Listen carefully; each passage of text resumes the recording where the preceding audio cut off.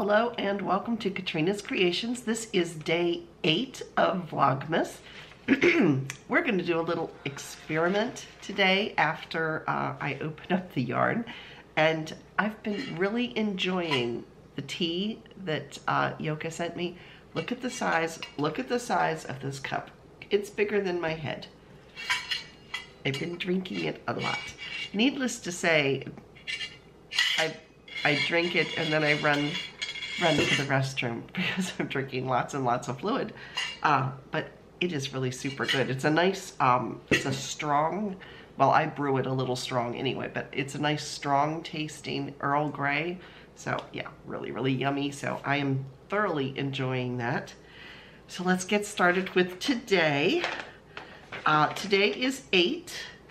And so that the, the pronunciations, just bear with me.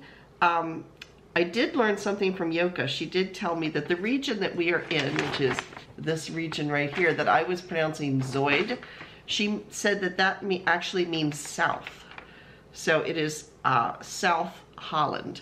And then the region just above this, which is where we'll be going next, is Nord Holland, which means North Holland. So we have South Holland and North Holland. So our lighthouse today is right here.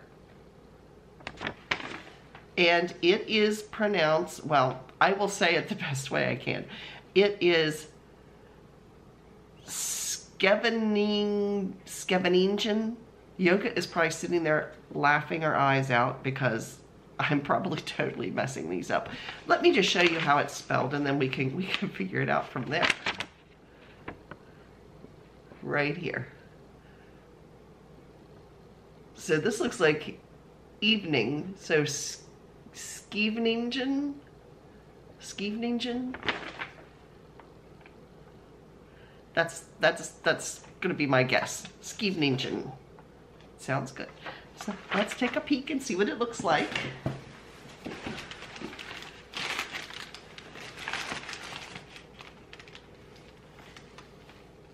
I had to find the end of the chain. So here we go. I'm pulling it loose. Here we go. And a lot of you have remarked on how cute these bags are, and they are adorable. I am going to string them all back together with the, the yarn that these are like chain stitched together.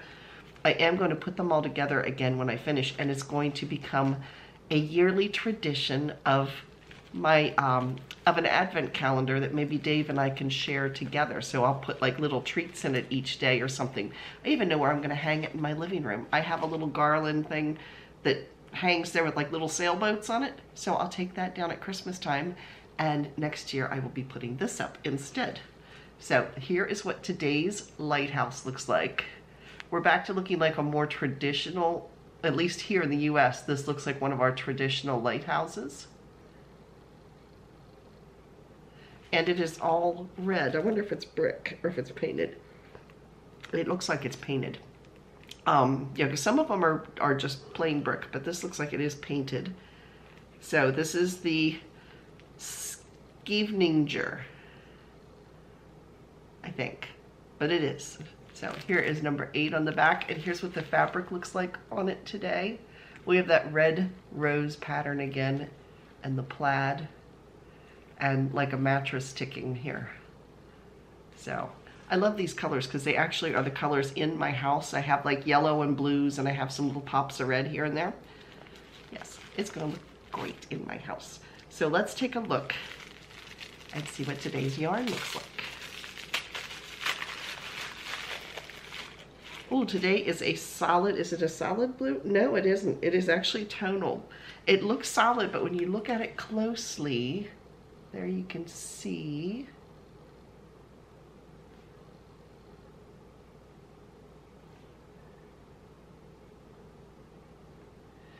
there you can see there is some green mixed in with that.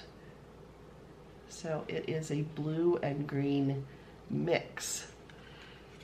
And, oh, there's another stitch marker or progress keeper and it's a little heart. This side of it you can see has like lines on it. There you can see it. But this side here is enameled. So, and this yarn is Schwa Schwappel? Schwappel. It means German, it's a German brand. Okay, Schwappel. And it is Zauberball. Oh, I've used Zauberball before. Um, I made a hitchhiker, uh, which is a like a shawlette with like little zigzag lines uh, that you can do with like one skein of yarn. I made that out of Zauberball. Uh, this is 75% wool and 25% polyamide. So that is the yarn for today. I'm going to stick it back in the little bag. Now, some of you may wonder what I am going to be doing with all of these little skeins of yarn. There is a pattern uh, my friend Kim made called Brighten My Day. Um, she's made it a couple times and I saw it in person at one of the craft fairs that we did. And it's really pretty. It is like a shawlette, but instead of knitting it this way, it is knit this way and it starts narrow and it gets wide and then it goes narrow again. So I'm going to wait till I finish the getting all the yarn for the advent calendar and then pick a skein of yarn, I have plenty to choose from upstairs, uh, that would go with pretty much all of the colors. And then I'm going to be putting the um, yarn advent colors in between the solid color all the way across. So I'm going to stick a picture in of what that shawl looks like so you'll see what I mean. So I think that'll be fun. Now, I told you we're going to do an experiment today. Okay, so this is one of the hats and I am working on a pattern for this. This is the one with the um, little cables. So I am working on making this uh, up into an official pattern. But one of you had told me, and I don't remember who it was, was saying that for the pom-poms, to get them to fluff up a little bit more to put a blow dryer on them and run a blow dryer. We're going to test that theory and I'm going to try really hard not to melt the pom-poms. So, um, yes, here's my handy dandy blow dryer. Let's give it a shot. I will put, I will mute the sound so that it doesn't blast your ears out when I turn the blow dryer on and like I said, we will try not to catch the pom-pom on fire or melt it. That would, that would make for exciting video, but we aren't going to do that. So let's give it a try. Here we go.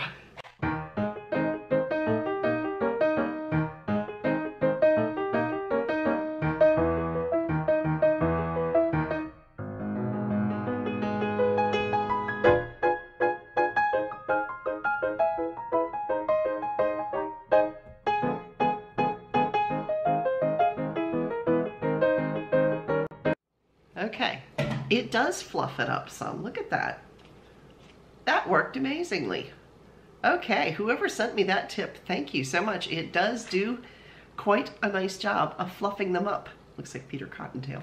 But anyway, uh, and and no fur was singed in the, these, this is artificial hair, but um, it's not real fur. But anyway, uh, yes, nothing was singed or smoking from doing this which reminds me of a funny story. When my husband and I were dating, my parents have always had, um, uh, other than a Chihuahua they had when I was little, they have always had Shelties, which are miniature collies, and you have, they have that, that like plume type of tail. Their dog was sitting at, we were in the living room, and we look over at the dog who's busy barking out the back door, and my parents had a kerosene heater sitting in the middle of the room. Well, close to where the dog was barking. And as we're looking closer, we see this plume of smoke going up because he was waving his tail over top of the kerosene heater and his tail started to catch fire and it was smoke was coming up. We had to go like extinguish the dog. the dog wasn't hurt, but it smelled like burnt hair for a long time in there. Um, yeah, and he had like little crispy edges to his tail after we you know, extinguished him. We did not make him drop and roll or anything like that. We just kind of went behind him and pushed, put out the put out the fire, you know, so he wasn't smoldering anymore. it was horrible, but anyway, it was good. well, it was funny at the time. But anyway, yes, sort of sort of like when I caught my veil on fire during my wedding. Yeah, if if you have not heard that story, yes. Um, always lift your veil before you blow candles out because I didn't and all of a sudden I looked sort of like that I Love Lucy episode where her nose is on fire when she's lighting that cigarette. Yeah, I looked down and I could see this this plume of smoke coming up and Dave's reaching over like this because we didn't know if it was just like gonna melt onto my face or burst into flames. So he's reaching over ready to rip this veil off my face, you know, and um, I started going blowing real fast to, to put it out. So it did not catch fire. It did melt. I had this, it just kind of went like this and then stopped. It didn't even singe around the edges like you know, little black circle or anything, but it just melted to this little hole right where my face was. So thankfully, once it was flipped back over my head, nobody could tell. But my mother was like, what was going on up at the altar during the, because our backs were turned to everybody when this was going on. And she says, what was all the huffing and puffing going on? I was like, I caught my veil on fire. So yes, note to any of you, make sure you lift the veil before you blow out the candles. So now that we've talked about fire and extinguishing things today, I think that's going to be it. So I will see you all again tomorrow. Thanks again for watching. Bye, everybody.